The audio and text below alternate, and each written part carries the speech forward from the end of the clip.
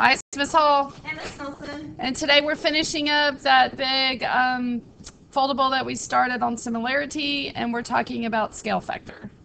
Okay, so if you fold or if you lift up the last two pages in your foldable, um, that is where we are right now in our foldable.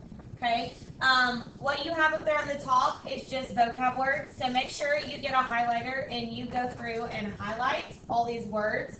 Okay, these are important. Um, many of them were on your vocab that you got, and these are things that you need to know because if you do not know them, whenever you read problems, they are not going to make sense. You are not going to know, okay, am I supposed to multiply, divide? You're not going to know if you're getting bigger, smaller, so you need to make sure we pay attention to that. Okay, so we're going to get into the first problem. It says find the scale factor. Now, definition, a scale factor is the ratio used to enlarge or reduce similar figures. So basically put, it is the number that you are multiplying by to get bigger or to get smaller um, of an item. So from a blueprint to a real house, obviously you're getting bigger, but from a car down to a model figure of it, you're getting smaller. Okay, so I'm going to write a couple of notes real quick, just so you write them down, and this just helps you remember them. If you are going big to small, your scale factor is less than 1. Okay, and if you're going small to big, your scale factor is greater than 1. Okay, and you'll see what I'm talking about in just a minute. But those are your general rules of the type of number you were multiplying by. And your numbers can be decimals or fractions. So you've got to remember your decimal fractions. All right, so it says find the scale factor. Now, this problem does not specify if we are going big to small or small to big. So I'm going to do both. Please note though that whenever you have a problem, your problem should always tell you what you're going to um, change from. That way you know if it's going to be greater than or less than 1. So if I'm going to a race car to my model, okay, I'm going from big to small. So whenever we do scale factor, something good to remember is new over old, okay? Because a lot of the times you're going to be asked to find the scale factor, and the only way to do that is to use the two numbers that they give you.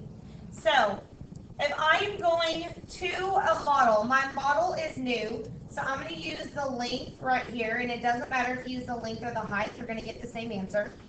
So my model would be the new, because that's what I'm going to, and the race car would be my old. So my new is 11, and my old is 132.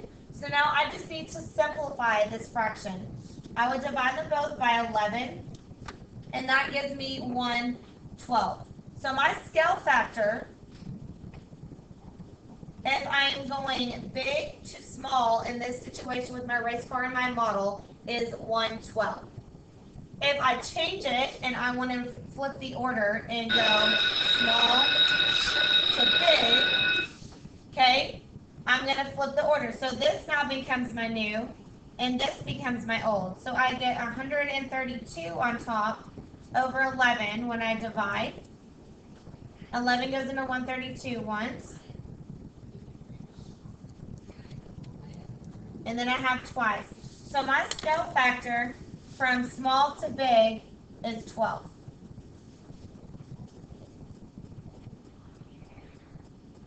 Okay, so next example, a photograph of Rene Magritte's painting, The Schoolmaster, has dimensions of 5.4 centimeters and 4 centimeters.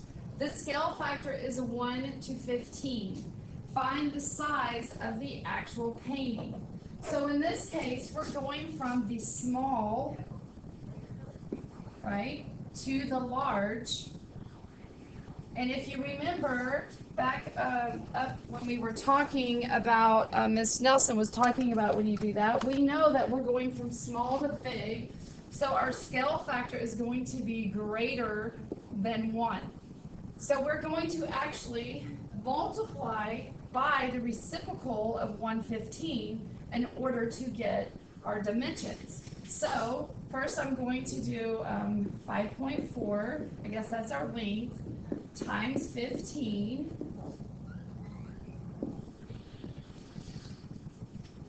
25, 27. Four, five.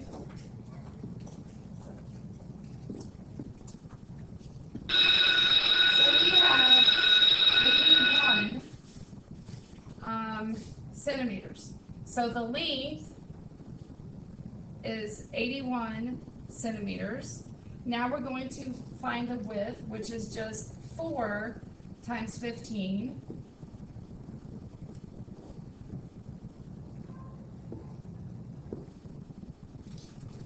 And that is sixty.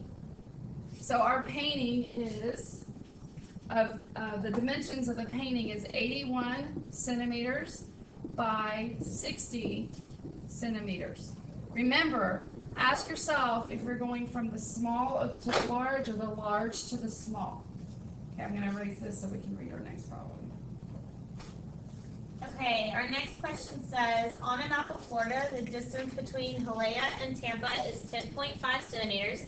The map scale is three centimeters, is equivalent to one hundred twenty-eight kilometers. What is the actual distance between the two cities? Okay, so this is unique in that it gives us a scale, okay? So whenever they give us a scale and they give us one of the dimensions, you are looking for one of the other dimensions. So the easiest thing to do is to set up, um, your proportion box or just a proportion with labels um, that you're gonna do. And I'm gonna do, my scale is gonna be over here on the right. So my scale is gonna be my centimeters and my kilometers, okay? And then that means that I now know where I'm gonna put my other, my numbers. Because I have a ten point five and it is centimeters, okay? So I'm gonna go ahead and put the three and the one twenty-eight. I know that the ten point five is gonna go on top because it is centimeters, which means X goes on the bottom. Okay, so we're gonna cross multiply these two, so obviously that gives us three X equals, and I'm gonna have to come over here and multiply my ten point five by my hundred and twenty-eight. It does not matter which one you set up on top because they are both three digits.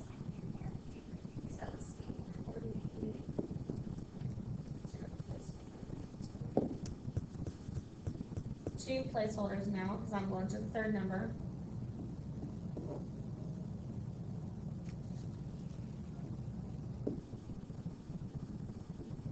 Have one decimal place, so one decimal place. So I get one thousand three hundred forty-four. So I'm gonna divide by sides by three, that crosses that out. So one thousand three hundred forty-four divided by three. So three doesn't go into one, three goes into 13 four times. One left over, bring down that four, three goes into 14 four times, which is twelve. Two left over, bring down that four, it goes eight. So x equals four hundred and forty-eight. Now for your label, my x was over here in my kilometers, so it is kilometers. Okay? So, if you have questions, please come prepared with um, the next class period. That way, we can make sure that you guys understand this. Bye. Bye.